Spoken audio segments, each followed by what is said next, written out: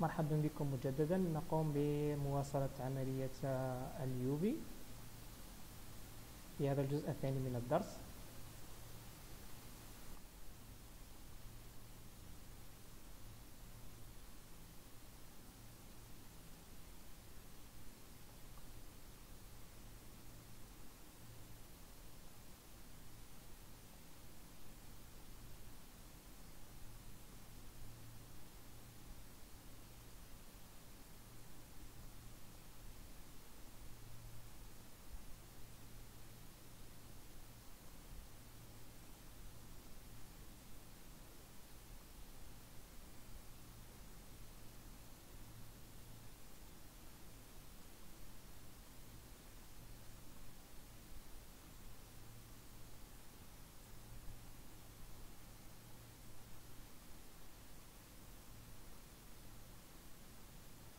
بنفس الطريقة أقوم بإضافة آه، تقسيم هنا وتحريكه آه، حتى الحافة قليلا.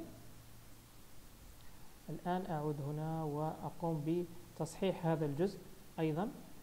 تصحيح موضع هذا الجزء. نضغط L ونقوم بسحبه ووضعه آه، هنا L S G ووضعه فوق قشرة البرتقال. R لماذا يتحرك مع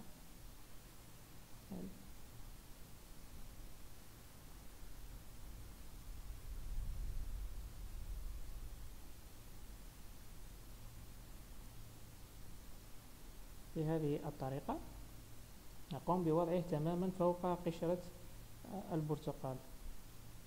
دقيقة آه، أقوم بإلغاء آه، إلغاء تفعيل عملية آه، أو أداة ال proportional editing آه، لأنها تسحب باقي النقاط من آه، ال islands الأخرى. R وأقوم بوضعها تماما فوق قشرة البرتقال. فكما نلاحظ الآن هذا الجزء أخذ, أخذ لون قشرة البرتقال والجزئين الداخليين أخذ أخذ لون آه، القشر آه، البرتقال الداخلي. بقي هذا الجزء الصغير هنا.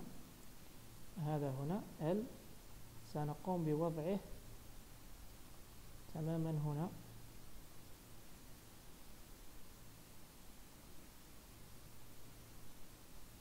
قوم بتكبيره ووضعه هنا. بهذه الكيفية. كما تشاهدون الآن تم تغليف الجسم الثلاثي الأبعاد تماما بهذه الصورة من خلال عملية اليو في إيديتين قمنا بفتح الأجزاء الثلاث Alt H قمنا بفتح الأجزاء الثلاث وجه بوجه آه وإعطائها أو وضعها تماما فوق الجزء المناسب لها من صورة التكشر. الآن نعود إلى الشيدنج.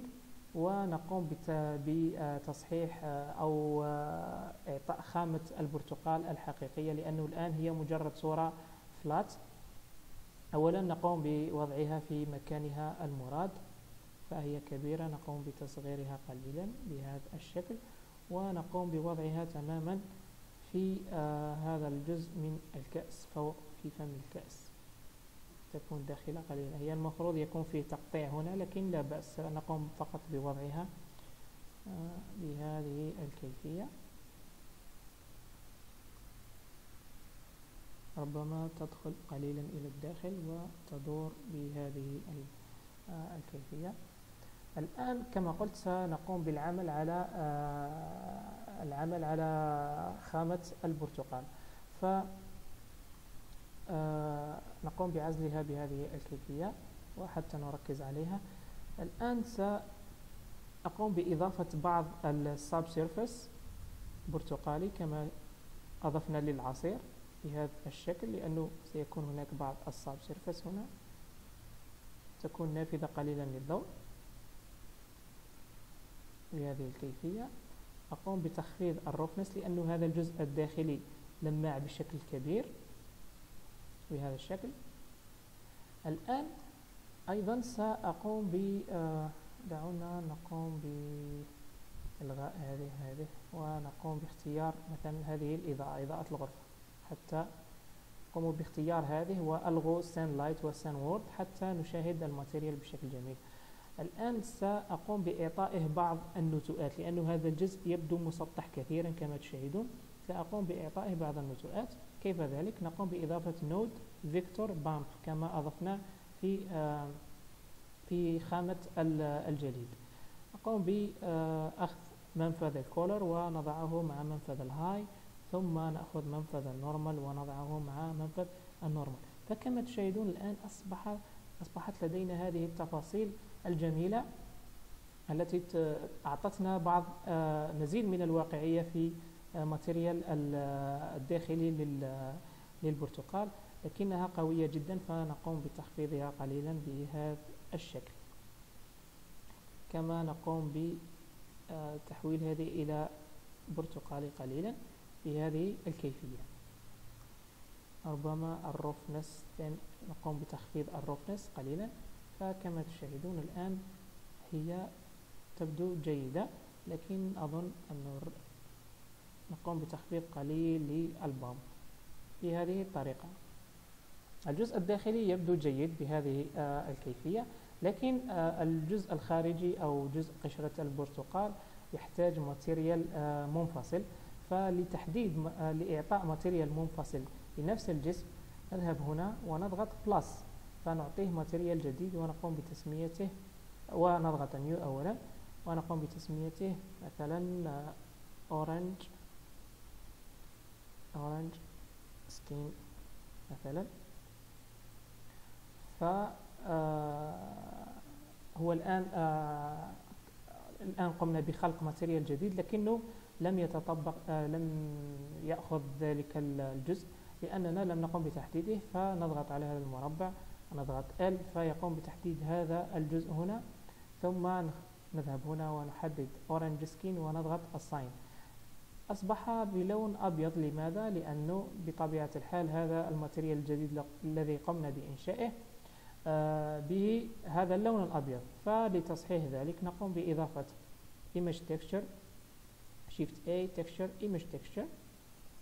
نحطها هنا ونقوم بإضافة نفس الصورة سنجدها هنا في هذه القائمة Clip Art Fruit Image ونقوم بتحديدها ثم نربط ال color مع ال color فتشاهدون نفس ال UV لا تضيع لأنه فقط قمنا بإعادة تحميل نفس نفس الصورة وربطها بمنفذ ال color فبصراحة سنقوم بتصحيح ال UV قليلا لأن هذا الانعكاس الأبيض هنا غير جيد. فربما نقوم ب select لهذا الجزء من ال UV ونقله إلى مثلا إلى نقله قليلا هنا لتفادي ذلك اللمعان لنقله ربما هنا بهذه الطريقة.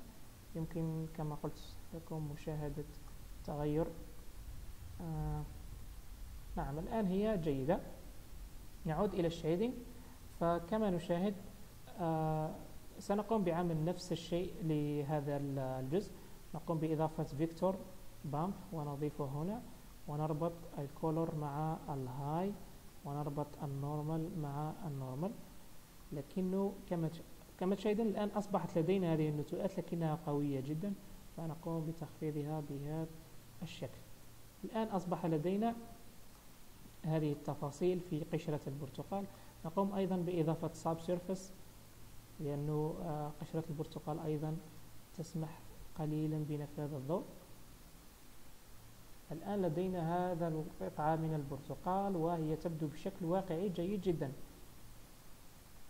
بهذه الكيفية نعود إلى اللايوت ف... ونضغط سلاش لإعادة جميع عناصر المشهد. وكما تشاهدون الآن لدينا نصف قطعة برتقال متموضعة في آه، في الكأس بهذه الطريقة الجميلة. ربما تدخل قليلا بهذا الشكل بهذا الشكل الجميل. هنا نشاهدها من خلال عملية ال preview لل render. هي تبدو جميلة. الآن سنقوم بعمل بسيط. أعلم أن الدرس طويل, طويل شوي لكن سنقوم بإضافة بإضافة أنبوبة الشرب أو بايب بالإنجليزية بشكل بسيط لأنه بسيطة جدا. فلعمل ذلك. أتمنى فقط أتمنى أن تكونوا فهمتم اليوفي لأنه معظم المبتدئين آه، وأنا شخصيا عانيت منه في البداية. صعب أنك تجد أحد يشرح اليوفي بشكل بسيط وإن شاء الله أكون قد وفقت في شرح ال UV لكم. الآن سنقوم بإضافة آه، الأنبوبة. آه، عملية نمذجتها بسيطة جدا. نقوم بإضافة curve هذه المرة لن نستخدم mesh بل نستخدم curve هذه ال curve هي نفسها ال vectors التي يستخدمها برامج ال vectors مثل فوتو مثل ال Illustrator وال CorelDRAW وال Inkscape فنقوم بإضافة bezier curve ثم نقوم بتحريكه على Z G Z ونضغط wireframe لأنه في الوضع ال solid لا يمكن رؤيته نضغط wireframe لأنه عبارة عن خط بهذه الطريقة. ثم نذهب إلى الأعلى ونقوم بأخذه إلى هذه الزاوية حتى نعمل عليه. آه، لتغيير شكل ال curve ندخل أيضا لل edit mode بهذه الطريقة. آه، بهذه آه، بهذه الطريقة. إذا كانت لا تظهر هذه النقاط هنا فهي بسبب هذه الأيقونة هنا. فقم بتفعيل هذه الأيقونة. هذه الأيقونة هدفها هو إخفاء جميع العناصر التي لن تظهر في المشهد. فقوموا بتفعيلها وأدخلوا للإيديت مود فنلاحظ وجود هذه هذه آه، النقاط للتحكم. هي تشبه أداة ال pen tool. فسنقوم بعمل شكل الأنبوبة. لدينا هذا الخط المستقيم. ثم نقوم باستخراجها مثل ما نقوم باستخراج النقاط في ال edit mode لل mesh E بهذه الطريقة. ثم نقوم بتدويرها بهذه الطريقة R. نفس الاختصارات تعمل هنا. فلدينا هذا الشكل G X مثلا نقوم بتطويلها قليلا. فهذا هو آه، الشكل الذي سيكون للأنبوبة. R G بهذا الشكل. ربما هي طويلة قليلا هنا أقوم بتخفيضها. وربما هذه يجب أن تكون طويلة قليلا. فالآن لدينا هذا الشكل. هو عبارة عن خط. الآن نذهب إذا قمنا بإضافة ال curves تظهر لنا هذه الأيقونة هنا الخاصة بال curve. فنذهب إلى geometry depth ونعطيه depth. فتشاهدون إذا ذهبنا إلى ال solid view هو أصبح عبارة عن أنبوب بهذه الطريقة البسيطة. نعطيه depth مثلا صفر فاصل صفر سبعة كبير صفر صفر ستة قطر كبير. بهذه الطريقة الجميلة الآن أقوم بتكبيره S و R أذهب إلى الأعلى R G وأضعه داخل الكأس. بهذه الطريقة. واي فريم جي ربما هو طويل شوي. يقوم بتصغيره اس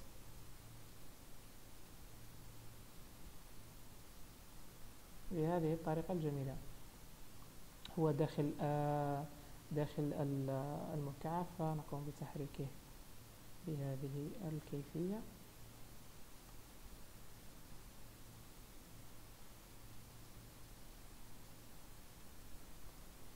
جميل. الآن هو بشكل جميل. G Y قليلا. الآن آه الآن علينا أن نقوم بإضافة بعض النتوءات هنا. فكما تعلمون هذه الأنابيب تحتوي على نتوءات هنا في آه في آه الانحناء هذا لعملية الطيات. فلعمل ذلك هذا آه هذا curve يعني إذا دخلت لل edit mode فلدينا نقاط. يعني كيف أقوم بعمل تلك تلك النتوءات؟ علينا بتحويله إلى mesh. فنذهب هنا object convert to mesh. فالآن أصبح لدينا هذه النقاط هنا. آه، أذهب إلى قائمة الموديفاير وأقوم بإضافة subdivision surface modifier بهذه الطريقة. وأخليه عند اثنان وأعمل apply بهذه الطريقة. فالآن أصبح لدينا العديد من النقاط. فسأقوم بتحديد بعض الحلقات تكبيرها أضغط آه، عفوا أضغط Alt فيقوم بتحديد هذه الحلقة. دعونا نبدأ من هنا. Alt Shift Shift Alt Shift Alt Shift Alt Shift Alt. أو عفوا أقوم بتحديد حلقة بحلقة. حلقة وأترك حلقة. حلقة وأترك حلقة.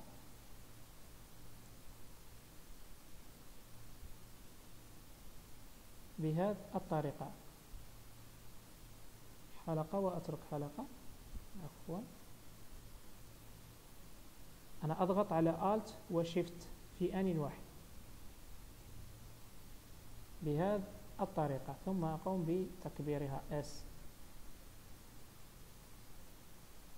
فأختار هنا الأفضل هنا أختار Individual Origin. لأنه عندما قمت بتكبيرها كما تلاحظون هناك تشوه. فلتصحيح ذلك أختار Individual Origin فيختار كل حلقة على حدة ويقوم آه، بتكبيرها على حدة. آه عفوا هناك تحديد لحلقتين متتابعتين. سأعيد. تحديد حلقة حلقة حلقة.